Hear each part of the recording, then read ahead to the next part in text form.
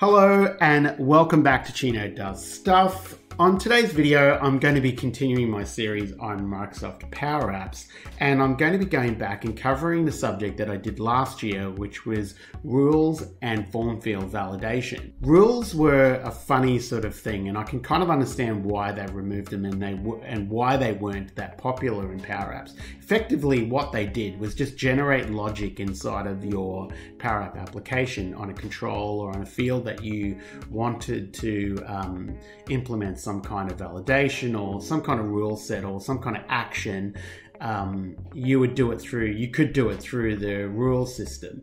Now, we can just bypass all of that and just implement our own logic directly. So if we take this application here, like I said, super simple, got a couple of controls here. It's a gallery connected to a SharePoint list and um, got a refresh button here. I can also view the our my existing records by clicking on them. I can also delete them if I want to, but I've got a little plus button here that create that opens up a screen that will allow me to create a new record. Now, um, at the moment, because there's no validation on this form, or I'm not doing any validation, I can just click on the submit button.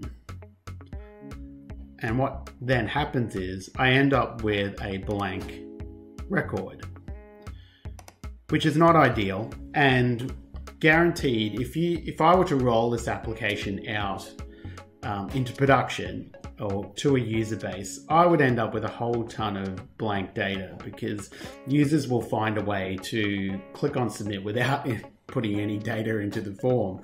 So we have to find a way to stop that from happening. So let me kill that and go into my new record screen.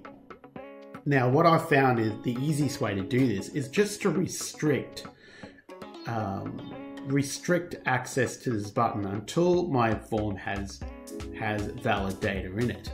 Now, just to keep things simple, let's just um, the way I like doing this is I I just disable this button until I'm um, until the form is ready to be submitted, and I find that is really the simplest way. This is the um, this is the way users submit new records. So by disabling this button until the form is ready, they can't submit a inva- uh, like invalid data to your data set. So if I click on this and I select the display mode, we've got a few options here. So display mode edit, if I just change this to disabled, we can see this button now goes disabled if I run it can't click on it. Let's just change that back to edit. Now, what I want to do is I want to put some logic in here to look for a certain field. Well, let's say we don't want to submit any records if the title field is blank. So, in our if statement, just close the bracket here.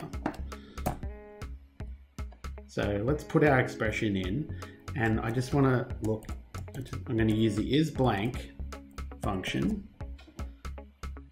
And the field is called, I'm pretty sure it's called request title. txt request title. And I want to look at the text property. So if if request title is blank, I want to disable that.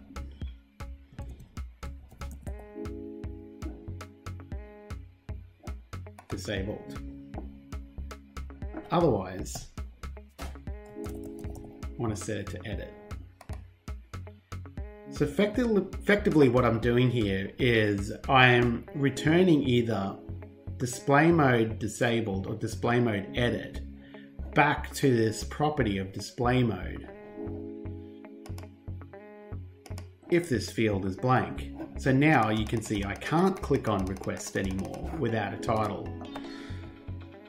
So let's just type this is a new request. But you can see as soon as I started typing something, my request button is now enabled and I'm able to click that. Because it still still have a value in here, as soon as I as soon as it goes blank, now we can't submit a record anymore.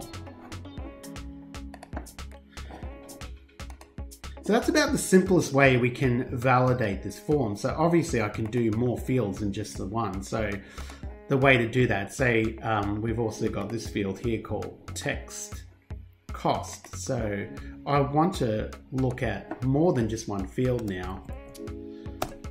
So I want to look at if that is blank or if text cost.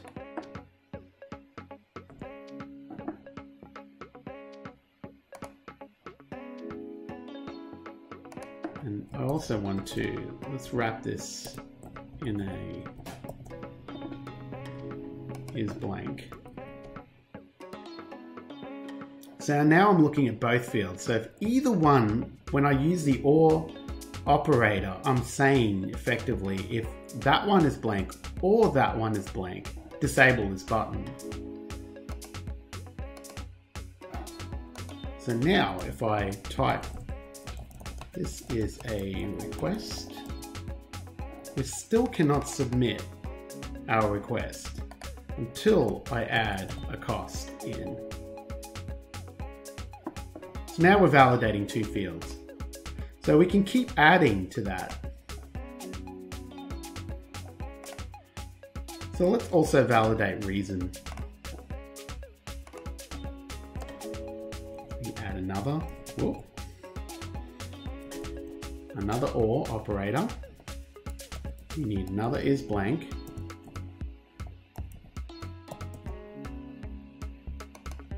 And this is tx, oh, needs to be within the function, txt reason the text value of that field. Again, if we run that, we're still grayed out. As soon as I start typing, we're now enabled. If I go back and remove my title for some reason, I can no longer submit. So all of those fields have to be completed to get a submit request. So that's a really simple way of implementing form field validation just by putting the logic on the button. So, but what you'll find will happen when your application grows or your form uh, fields grow and your validation um, is across many more fields. When a user goes to input the data, they will uh, potentially have um, will get will not be able to necessarily be able to find what field they have to fill out to um, enable our submit request.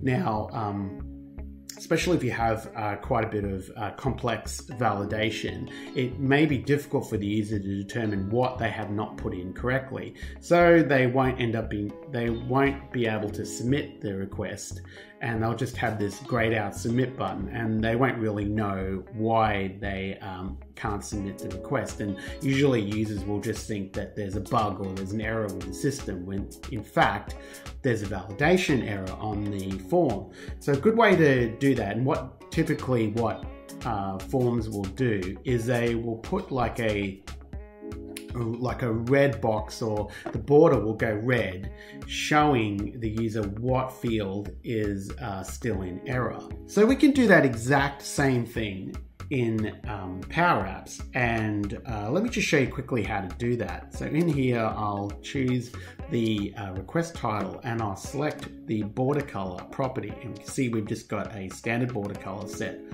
for whatever condition but we want to add some logic in here. So, if under our condition, if this, if txt request title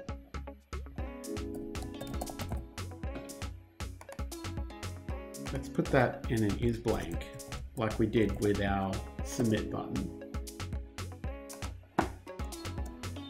if it's blank,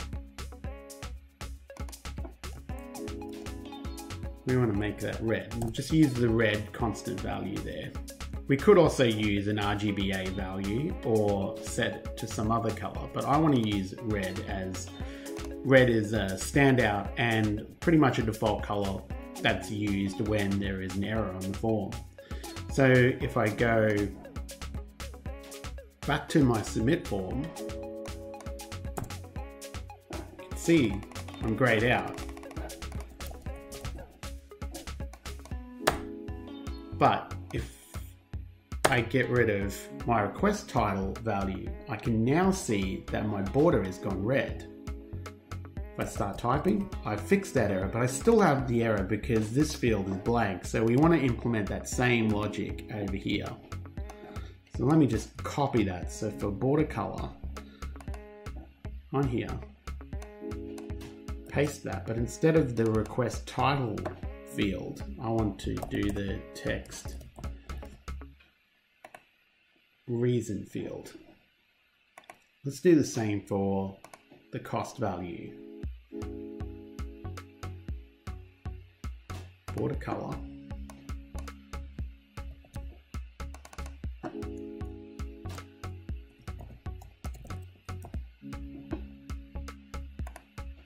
Okay, let's run that. So I can see now I can't submit my request because if I go up and scroll through my form, I can see my reason for request is red. So let me type that and now it's gone green and my submit button is good to go. If I remove request title and cost, both of those fields are now red and I can go back and I can clearly identify that there's an error. So let me put some values in, test, and now I'm ready to go and I can submit that request.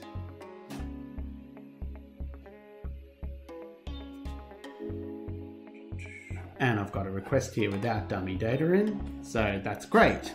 Now, the other thing we could do, let me just open that back up, is um, in circumstances where we've got a really long form and um, users have to sort of scroll up and down and maybe even go across several screens, just having to search through multiple screens can be painful um, especially if we've just got a grayed out button right at the end of the the screen and we can't we don't really know why that has um, why that has been grayed out uh, again we'll have the same problem because users can't visually see that that has been um, that that has there's an error somewhere on the uh, on the form, so they can't see that unless they go through every single screen or they actually uh, look scroll up and down the screen. So what we what we also can do here, we can just add a label, and I found this works really well. Could just add this next to, and let's make that color red. And let's make it a bit bigger. And perhaps even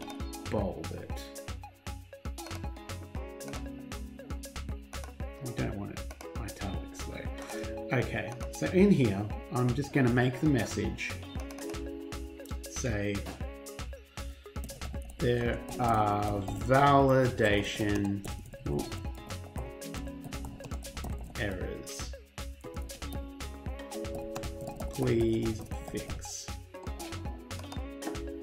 So this is now telling the user that there's some validation errors on the form. We can even maybe put stars there so we can see that clearly and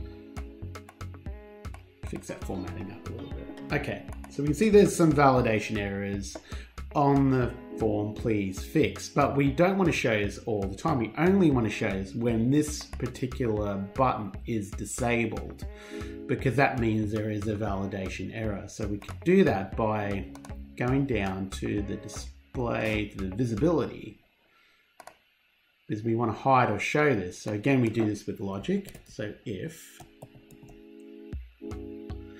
and we select the submit button and its display mode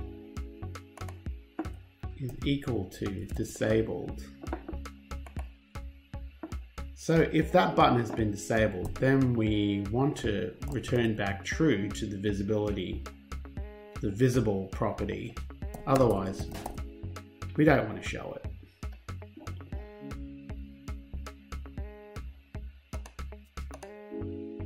Okay, so let's put a title in.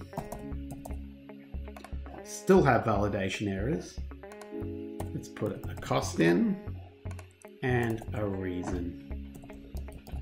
Ooh.